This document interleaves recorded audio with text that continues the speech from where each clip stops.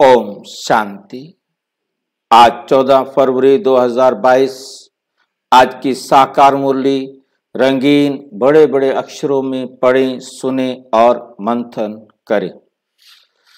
मीठा मीठा बाबा कहते मीठे बच्चे सेंसिबल बन चलते फिरते जहाँ भी जहाँ भी सेवा हो करते रहो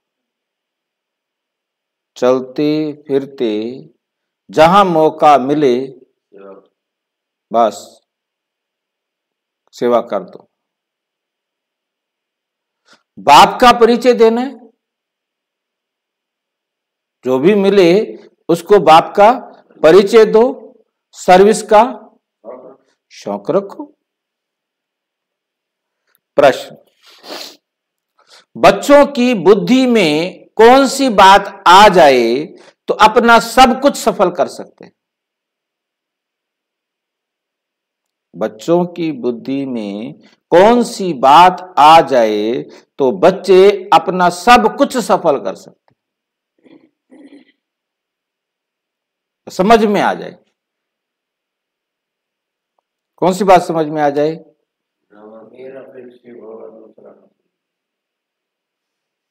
और हम्म? ड्रामा एक्यूरेट है। और बस अब घर जाना है। अब घर?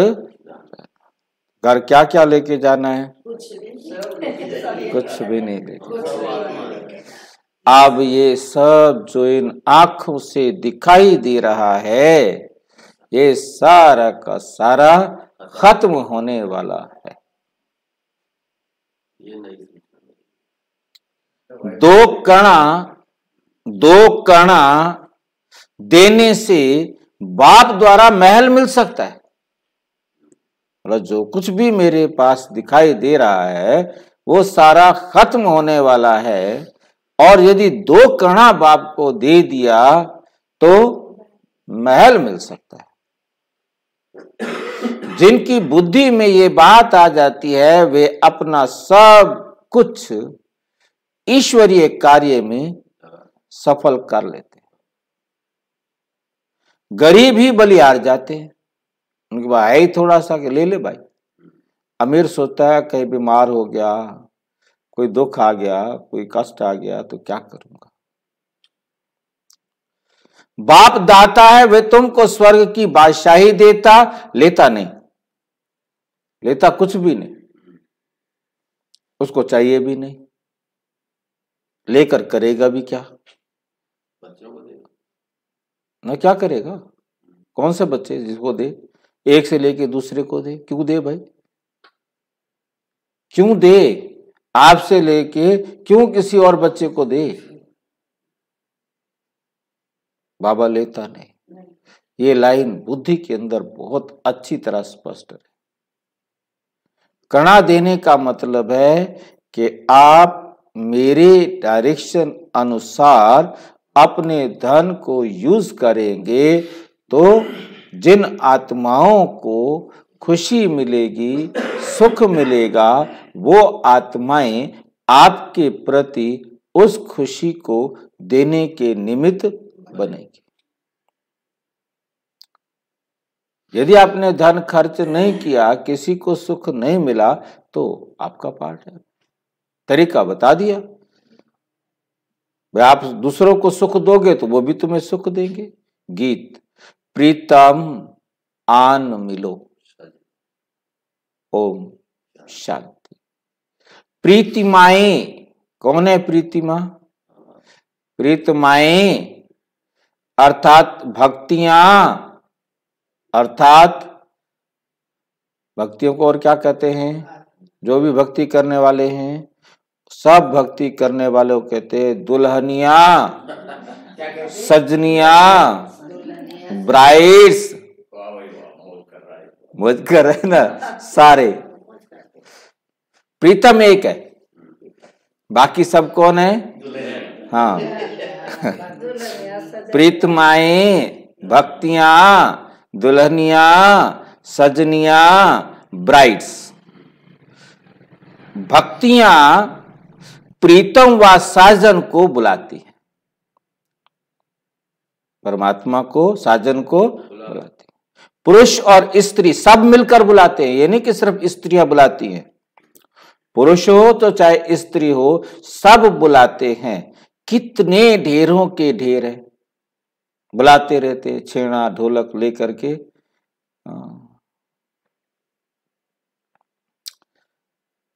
तो इससे सिद्ध है बुलाते रहते हैं। इससे सिद्ध है, ज़रूर प्रीतमाओं का कोई प्रीतम है जिसको बुला रहे हैं। सारे एक को ही बुला रहे हैं। नाम उन्होंने अलग अलग रखे हैं।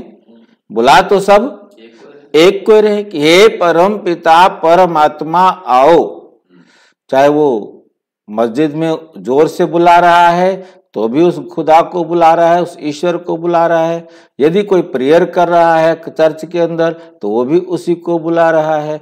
चाहे मंदिर हो तो चाहे गुरुद्वारा हो तो चाहे कोई धार्मिक स्थान हो, बुला तो सारे के सारे परम पिता, परम आत्मा को रहे हैं कि आओ, हे पतित पावन, आओ लिबरेटर गाइड आओ।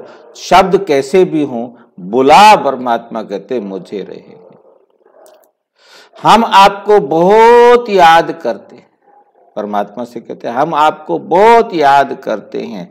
यादगार तो बहुतों के बनाते हैं, अब वे सब मनुष्यों के यादगार। जितने भी दुनिया में यादगार बनाए गए, चाहे वो चर्चेज बनाए जाए, चाहे मंदिर बनाए जाए, चाहे गुरुद्वारे बनाए जाए, चाहे मस्जिद बनाए जाए, चाहे कुछ भी बनाया जाए, वो किसके बनाए जाते हैं? सब देहधारी ऐसे भी बहुत हैं जो लक्ष्मी नारायण, राम, सीता आदि देवताओं को याद करते हैं। क्यों? क्यों याद करते हैं? क्योंकि मनुष्य से वो देवताएँ ऊंच हैं। मनुष्य से वो देवताएँ ऊंच हैं। तब तो मनुष्य देवताओं की पूजा करते हैं। नंबर वार ऊंच और नीच तो है। सारे देवी देवता बराबर तो है ही नहीं। कोई देवता बड़ा तो कोई देवता छोटा कब बने थे ये उन विचारों को पता ही नहीं। किसने बनाया था ये पता ही नहीं। कैसे बनाया था ये पता ही नहीं। ये तो सब जानते हैं कि ऊंचते ऊंच भगवान को ही कहा जाता है। फिर ब्रह्मा, विष्णु, शंकर, फिर ब्रह्मा और जगत अंबा। कितना लाइन क्लियर तीन बिंदिया। मैं बहुत टाइम से चित्र पर सोचता था कि बाबा ने ये तीन बिंदिया पहले क्यों लगवाई? ऊपर में शिव बाबा फिर उसके नीचे तीन बिंदिया फिर उसके नीचे दो बिंदिया। क्यों लगवाई? कभी समझ में नहीं आता था। अभी कुछ दिनों से समझ में आने लगा है कि ये तीन बिंदिया बाबा ने सूक्ष्म वतनधारी वतनवासी ब्रह्मा विष्णु शंकर का यादगार के रूप में लगाया था। और देखिए कि कितनी कमाल की बात है जो कृष्ण जन्म वाला चित्र देखा है आपने जिसमें कृष्ण बच्चे पालना कर रहा है पालना माँ बाप के पालना ले रहा है गुरु के पास पढ़ रहा है। याद आ रहा है चित्र ऐसा? नहीं आ रहा? जिसमें दिखाया कि गीता माता है और कृष्ण बच्चा है। हाँ, बीच में एक बीज रखा है उसमें से दो पत्ते निकाले हैं। राधा और कृष्ण। ठीक है ना? मतलब ये चित्र क्या कमाल की बात सिद्ध करता है कि वो दो आत्माएँ सबसे पहले शिव बाबा से बिछड़ती आती हैं। दो आत्माएँ, तीन नहीं। तीन आत्माएँ नहीं दिखाई, तीन बिंदिया दिखाई पर तो तीन आत्माएँ नहीं दिखाई। ये बात बहुत बहुत जो है ना समझने वाली है, क्योंकि बाबा ने जो चित्र बनवाए हैं, बड़े गुह्य राज से बनवाए हैं। उन राज को समझना ही सबसे बड़ी बात है, सबसे पहली बात है। मुख्य वे है, ये तो सिर्फ़ बच्चों की ही बुद्धि में है कि ऊँचे ते ऊँचा बाप द्वारा हमको ऊँचे ते ऊँचा वर्षा मिलता है। परंतु उस बाप को जानते ही नहीं। जब बाप आए, तभी आकर अपना परिचय दे। बाप कहते हैं, मैं तुम बच्चों के सिवाय और कोई से मिल नहीं सकता हूँ। बाप आते हैं, कहते हैं, महात्मा जी से मिले।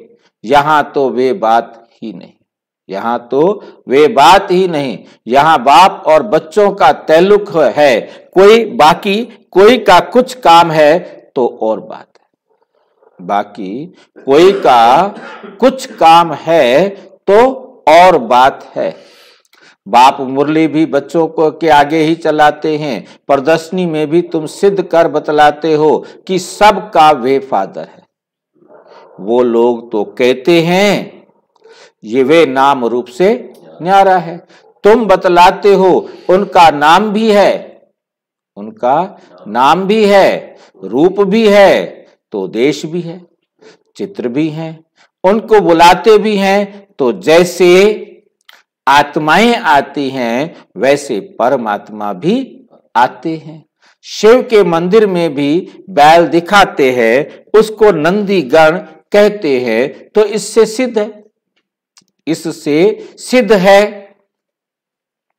कि शिव परम आत्मा आते हैं। फिर क्यों क्यों कहते हैं, वे आ ही नहीं सकते? भाई, जब तुम बुला रहे हो, पहली बात, फिर उनके आपने यादगार बना रखे हैं, वो आया था, आता है, तभी तो आप उसको बुलाते भी हो, फिर कहते हैं, वो कैसे आ सकता है?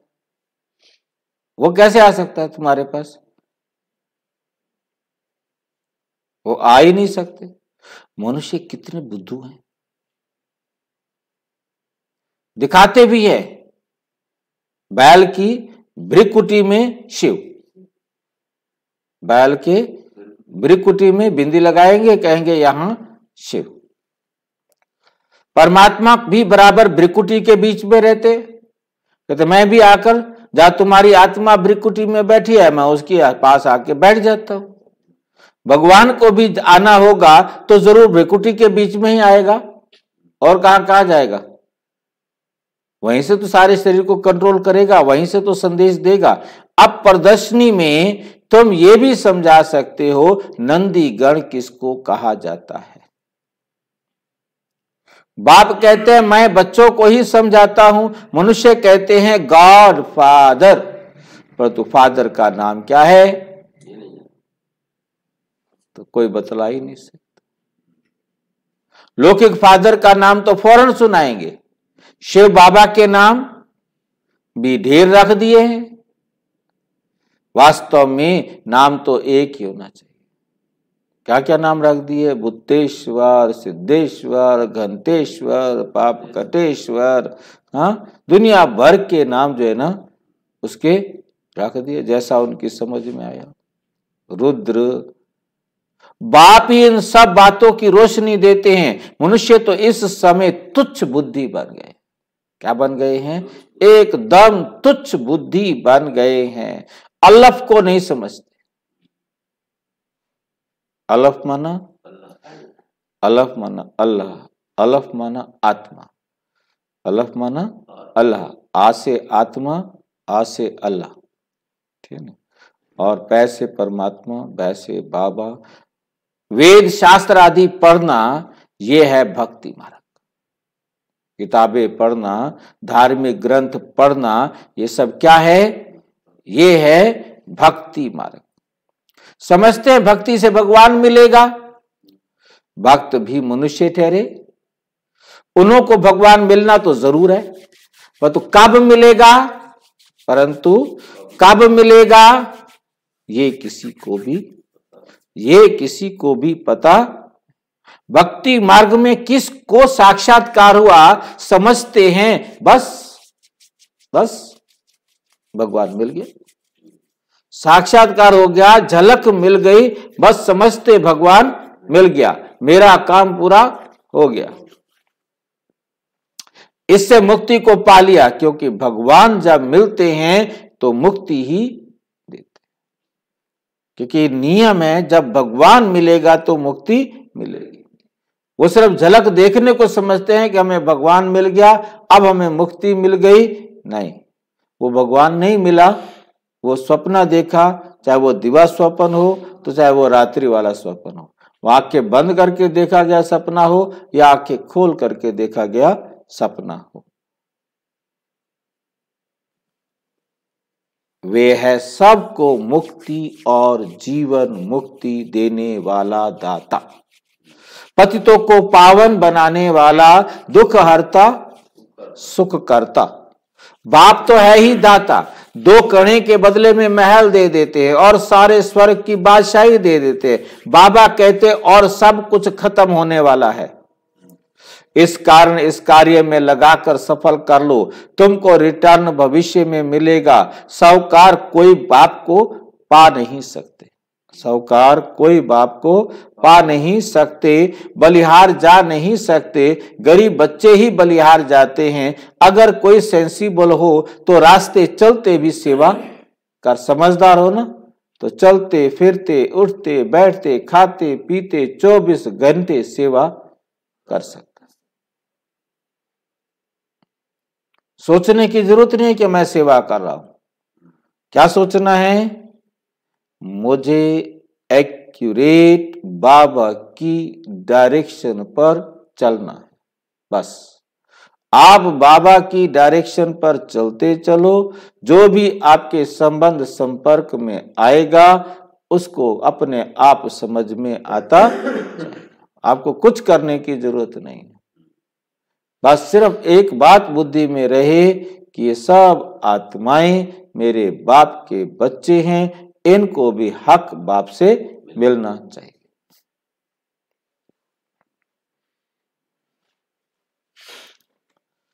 चलते चलते पहले किसका मित्र बन जाना चाहिए? क्योंकि जहाँ हम बैठते हैं गाड़ी में बैठेंगे बस में बैठेंगे कहीं भी बैठेंगे गली में जाके बैठेंगे अजनबी से मिलेंगे कोई भी मिल गया हाँ जी क्या नाम है कहाँ से आए हो क्या करते हो ये वो दोस्ती बनाते हैं ना? ऐसे ही दोस्ती बनाओ। और दोस्ती बनाने के बाद उनको बता दो कि तेरा बाप और मेरा बाप तो एक है। है ना? बताते रहे, वो अच्छा तेरा गाँव तो मेरे गाँव के बिल्कुल पास है। हम तो एक ही एक ही इलाके के हैं। है ना फटाफट दोस्ती बनाना शुरू कर देते। तो सीधे, सीधा सट्टा मारो उसके ऊपर कि तेरा बाप और मेरा बाप तो एक है। हम तो एक ही घर से आए हैं। हम तो भाई भाई है। हम तो पक्के दोस्त हैं। पक्के मित्र हैं फटाफट उनके साथ क्या बनाओ? दोस्ती बना लो। बस फिर शुरू हो जाओ। जो जो उसको नहीं पता उसे बताते जाओ। थे नहीं? हो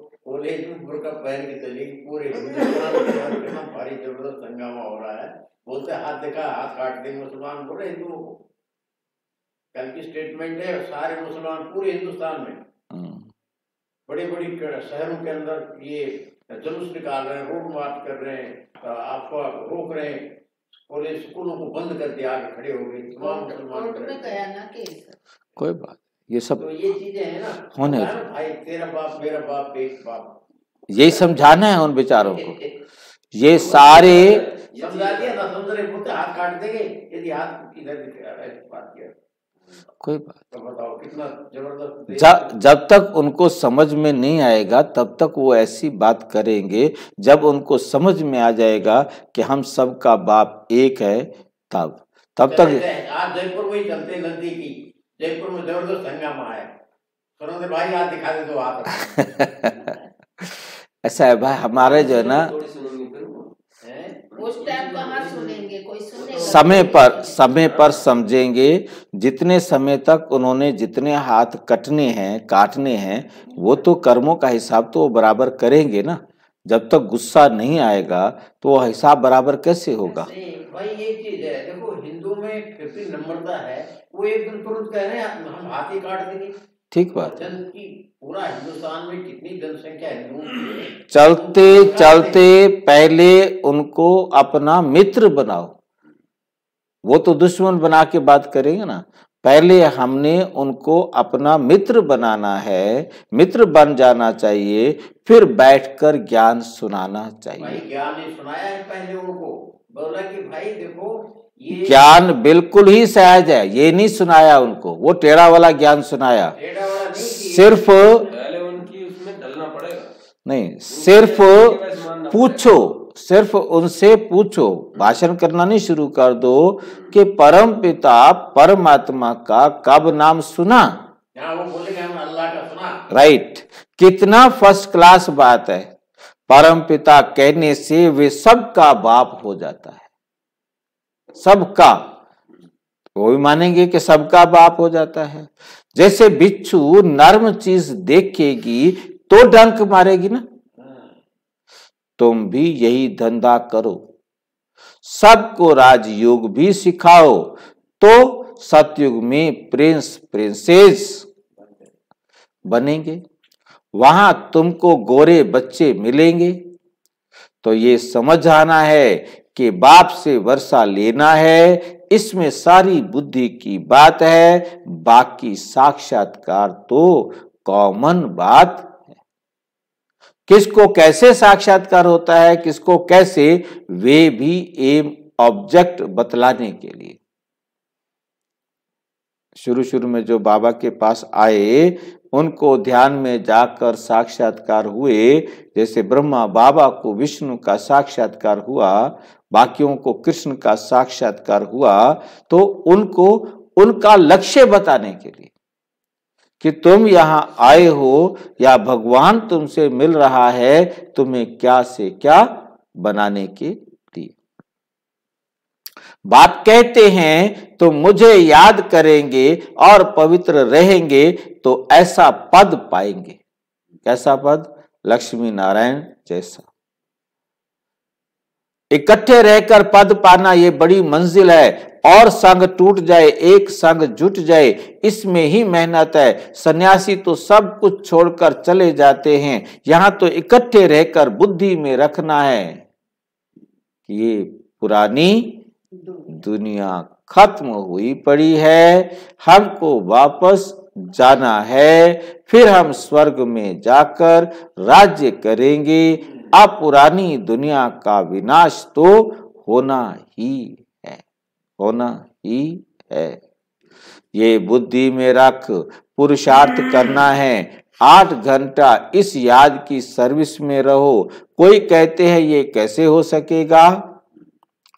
भक्ति मार्ग में जो कृष्ण के भगत हैं, वे भी सब तरफ़ से बुद्धि को हटाए, एक कृष्ण को ही याद करते होंगे। कोई राम का भगत है अच्छा राम को याद करो। राम की राजधानी को याद करो। सो भी जब निरंतर याद करे, तब अंत मति सो गति होगी। राम को याद करके राम की राजधानी में जाए, ये भी मेहनत है। ऐसी मेहनत सिख लाने वाला कोई है नहीं।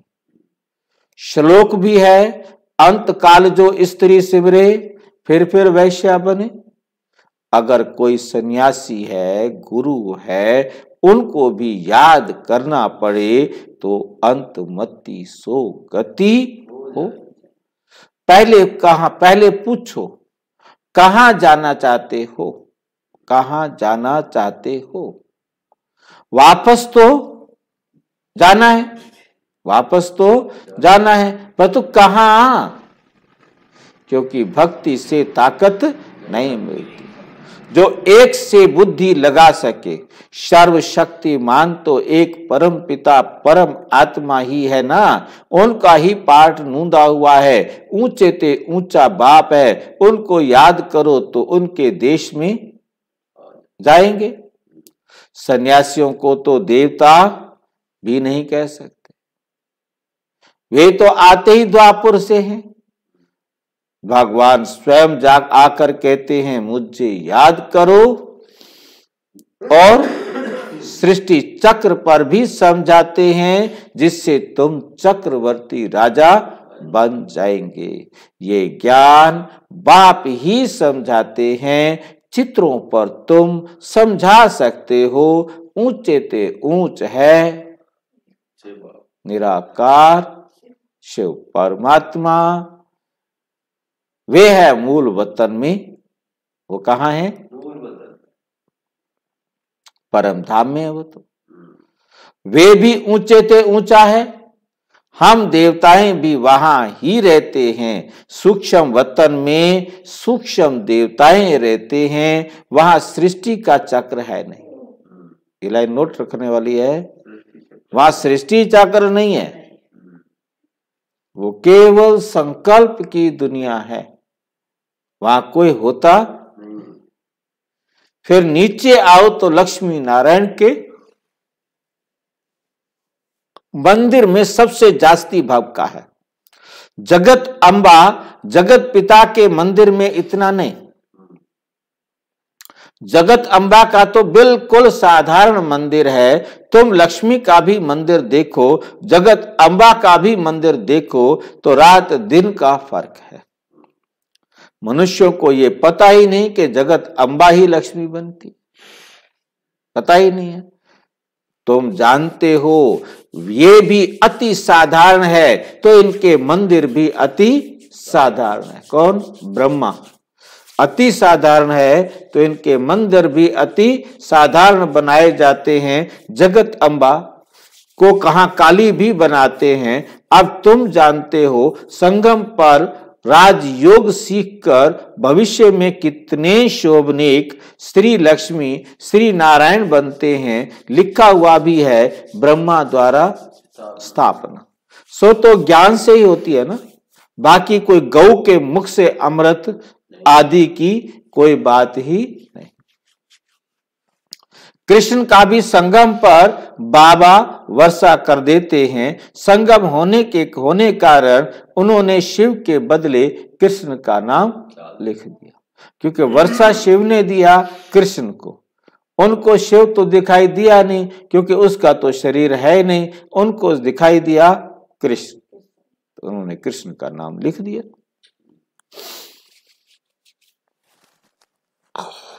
अब तुम जानते हो, जगत अंबा ही लक्ष्मी बनती है और लक्ष्मी ही चौरासी जन्म ले जगत अंबा बनती है। ये ब्रह्मा, ये है ब्रह्मा का कुल। सो फिर बनता है देवी कुल। पहले ब्रह्मा का कुल बनेगा, फिर क्या बनेगा? देवी का कुल बनेगा। फिर चौरासी जन्म लेते हैं तो अंत में आकर शूद्र कुल के बनते हैं।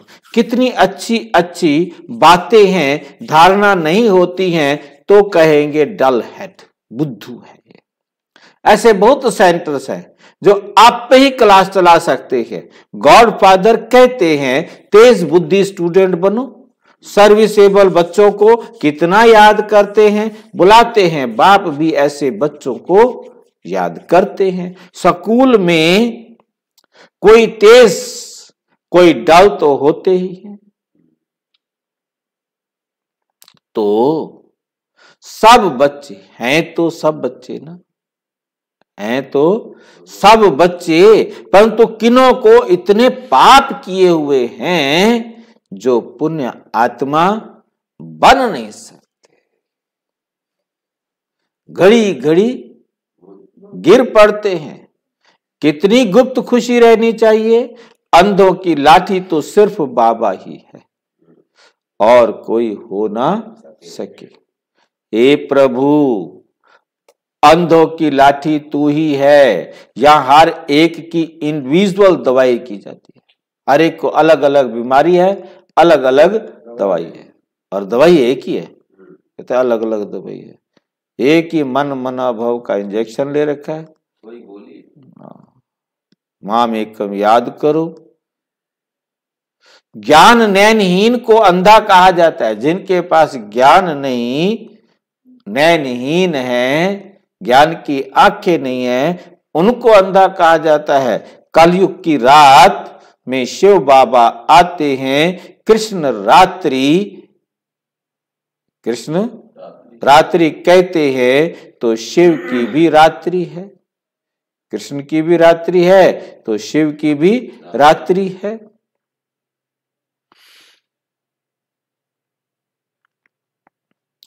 उनकी रात्रि कौन सी है? तुम जानते हो। तुम जानते हो। क्या जानते हो? कलयुग के अंत और सत्युग के आदि को ही रात्रि कहा जाता है। जब कलयुग का अंत होने वाला हो और सतयुग की आदि होने वाली तब परमात्मा आते हैं।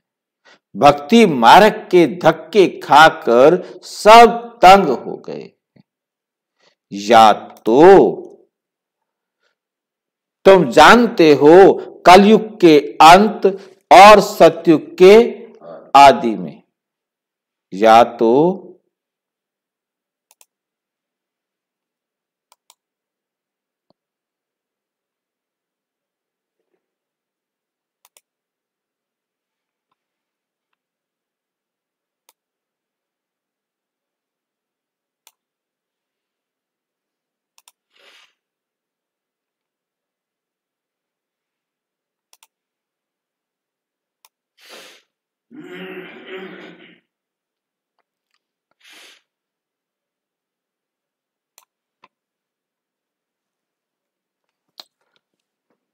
कहते हैं परमात्मा बेअंत है।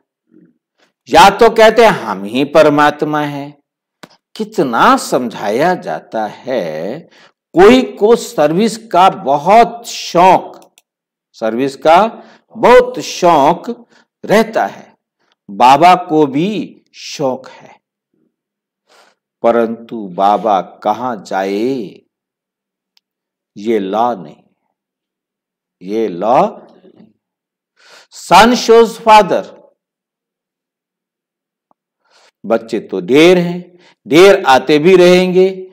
क्यू में बाहर बैठ जाएँगे? पोप आया। कितने मनुष्य गए? ये तो सभी का बाप है। ये तो सभी का बाप है। पोप के को भी सदगति देने वाला है।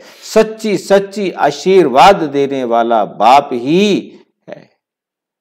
बीके को तो सबको ब्लेसिंग देनी है। ब्रह्मा कुमार, ब्रह्मा कुमारियों ने सबको ब्लेसिंग देनी है ना? ना समझने के कारण, वे समझते हैं, हम ब्लेसिंग करते। हैं यहाँ तो आते हैं, देखा जाता है, आशीर्वाद लेने का लायक है व नहीं? परम पिता, परम आत्मा की बुद्धि में जो है, वे किसकी भी बुद्धि में नहीं है। बाप कहते हैं, ये आए हैं, आए तो हम इनको मुक्ति, जीवन मुक्ति दें आवे तो सही ना मनुष्य से देवता बनाए स्वर्ग का सैपलिंग लगना है लगना तो है हम समझ जाएँगे ये किस प्रकार का सैपलिंग लग रहा है तुम भी ऐसे समझो कोई आए तो मुक्ति जीवन मुक्ति दे कहते हैं हमको मुक्ति चाहिए अच्छा मुक्ति धाम को याद करेंगे तो मुक्ति मिल जाएगी। बाप को याद करो तो अंत मति सो गति हो जाएगी। बस और कुछ चाहिए? अच्छा। मीठे मीठे सिक्की लदे बच्चों प्रति मात पिता बाप दादा का याद, प्यार और गुड मॉर्निंग। रूहानी बाप की रूहानी बच्चों को नमस्ते। हम रूहानी बच्चों की रूहानी बाप दादा को नमस्ते नमस्ते। धारणा के लिए मुख्य सार नंबर एक, कम से कम आठ घंटा इस याद की सर्विस में रहना है। इकट्ठे रहते हुए भी और संग तोड़, एक संग जोड़ने की मेहनत करनी है। तेज बुद्धि स्टूडेंट बनना है डल हेड नहीं। बाप समान अंधों की लाठी बन, सबको मुक्ति, जीवन मुक्ति का रास्ता बताना है। वरदान अल्पकाल के सहारे के किनारों को छोड़ बाप को सहारा बनाने वाले यथार्थ पुरुषार्थी भव। यथार्थ पुरुषार्थी भव। अल्पकाल के आधारों का सहारा जिसको किनारा बनाकर रखा है, ये अल्पकाल के सहारे के किनारे अभी छोड़ दो। जब तक ये किनारे हैं तो सदा बाप का सहारा अनुभव नहीं हो सकता। और बाप का सहारा नहीं है, इसलिए हद के किनारे को सहारा बना दो। हद के हद के किनारों को सहारा बना लेते हो। अल्पकाल की बातें धोखेबाज हैं, इसलिए समय की तीव्र गति को देख अब इन किनारों से तीव्र उड़ान कर सेकंड में क्रॉस करो। तब कहेंगे, यथार्थ पुरुषार्थी स्लोगन है, कर्म और योग। कर्म और योग का बैलेंस रखना ही सफल कर्म योगी बनना है। अच्छा विस्तार से जानने के लिए विश्व के 140 देशों में प्रजापिता ब्रह्मा कुमारी ईश्वरीय विश्वविद्यालय के किसी भी सेवा केंद्र पर संपर्क करें या nine two one three one zero six nine eight six पर केवल टेलीग्राम करें। और नहीं। ओम शांति। goals.